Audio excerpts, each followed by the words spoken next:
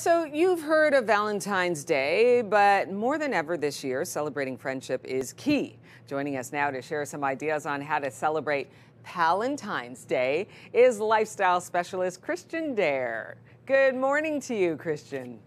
Good morning, Rosie. I wish I was there to celebrate Palentine's with you and share some gifts with my pal Rosie, but we'll do it this way virtually, right? Yeah, exactly. That's what we have to do. So we're, we're starting off. We've got, you know, we've got Valentine's Day around the corner, Palentine's Day as well, and we're talking about celebrating. If we can't be with our friends, we got to do it virtually, right? We got to make the best out of a not so great situation.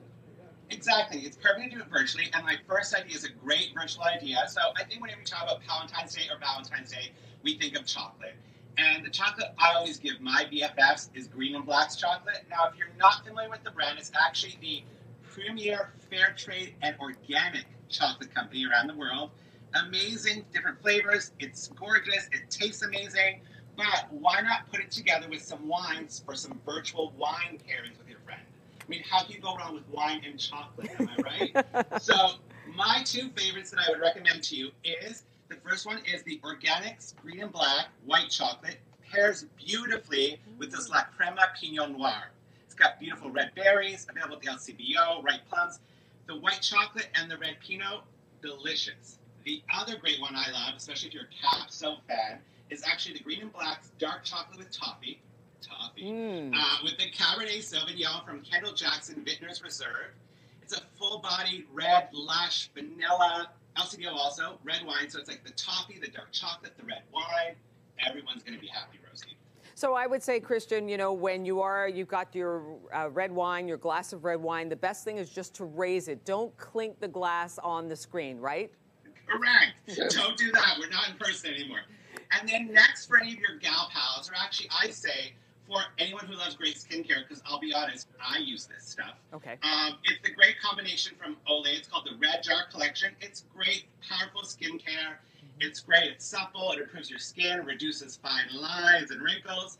And what I love about the Red Jar Collection is they've got a formulation for every skin need, from micro sculpting cream to a whip to their newest, which is the Ultra Rich. So Ultra Rich Regenerist. It's rich it's moisturizing. It's not greasy. It's amazing for that sort of winter dry skin. Your friend's skin will glow. And I say pick up a jar so your skin glows also. Yeah, we need moisturizing creams. It's so dry in the winter. You got something for the gents as well? Yes, for the gents on your list, for the well-groomed gents, I'm going to suggest this great Philips S9000 Prestige Shaver. I'm actually going to give this to myself because I believe we're all our own best friends. Uh-huh. Um, right? But it's such a great razor. So it's like the S9000 shaver from Philips. It's the most innovative one to date. It gives you an exceptional, clean, close shave for a razor, for a shaver with sensitive skin, even on a seven-day beard. So if you've been skipping shaving every day because of no Zoom calls, this guy will still give you a great, clean, close shave. The other thing I love about it is it's got a wireless charging pad. So you just mm. stick it on there, and the S9000 shaver will charge on its own. It's amazing. Okay, and now we're sharing cocktails with our Palentines. Yes, exactly. Cocktails. I think we're all a little bit sad that our favorite sort of local bars aren't open, mm-hmm. but we still want to celebrate with our friends. So why not just schedule one?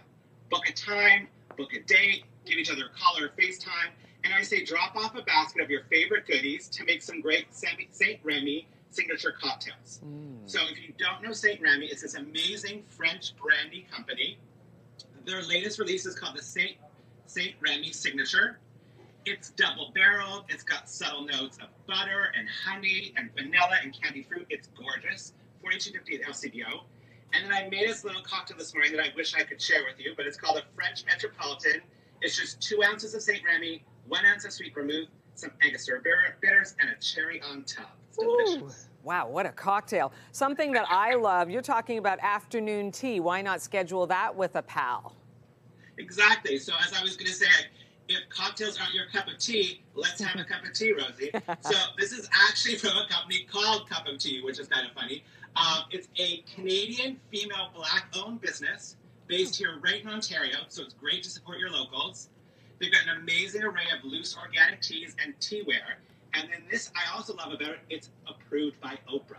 So this Ooh. is what Oprah gives her besties So I don't know about you, but if it's good enough for Oprah and Gayle, it's good enough for me and my pals. Oh, absolutely. If Oprah likes it, hello. And I love it because it's Canadian made. Cup of tea, right? Cup of amazing. Yeah, Oh. female-owned business based Ontario. It's That so great. You got so many great ideas for Valentine's Day. I'm going to be uh, hitting you up and doing a couple of these with my pals, especially the cocktail and the tea time.